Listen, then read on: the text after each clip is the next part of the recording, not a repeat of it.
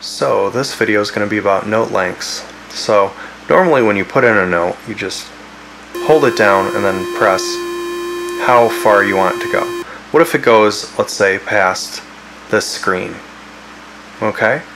Um, so all you have to do is go over there to that part of the screen, hold down this knob, and then press the note. And now, as you can see, it extends all the way. So, when you ever want to work on note lengths, you just hold that down. I could even, if I press here, it extends that note. So it's like a note length mode. If you want this to loop around and then stop there, you just press press the note, okay? Press behind it. Hold that down, press behind it. That's going to make it loop all the way over till here.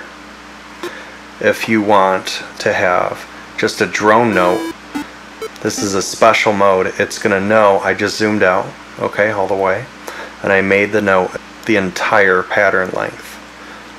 So what that means is it's just going to take that as a drone note so it's not going to re-trigger when it hits this again.